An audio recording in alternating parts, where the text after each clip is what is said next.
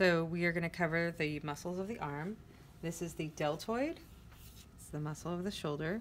Then we have the muscles of the rotator cuff. We have the supraspinatus. This is the spine of the scapula, so it's above the spine.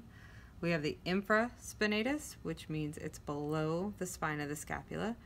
We have the teres minor, and underneath the scapula we have the subscapularis. Then we have the muscles of the upper arm, so we have the biceps brachii. Underneath that, we have the brachialis. So this side is also brachialis. This is the coracobrachialis. And then we have the triceps. So there's one, two, and three, and these extend the arm.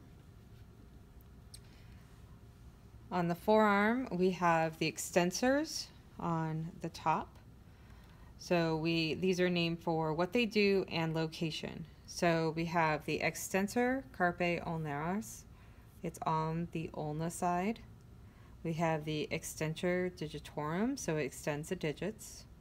We have the extensor carpi radialis brevis, so it extends the carpal. It's on the radius side, and brevis means short. So we have the extensor carpi radialis longus, so it's the long one. We have the brachioradialis, as it's on the radius side. And then we also have this band of tissue that holds down the tendons, and in its extensor, retinaculum. Then underneath we have the pronator teres. This one helps turn your arm. Then we have the flexor muscles. So we have the flexor carpi radialis. It's on the radial side.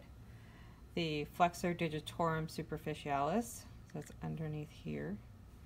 This is the palmaris longus, so its long muscle goes to the palm. And then we have the flexor carpi ulnaris, so it's on the ulna side. Then we have a flexor retinaculum. It's the banded tissue that holds down the tendons. Then we have some muscles called the thenar eminence. The thenar are on the thumb side. And then we have the hypothenar eminence. Those are on the pinky side of the hand.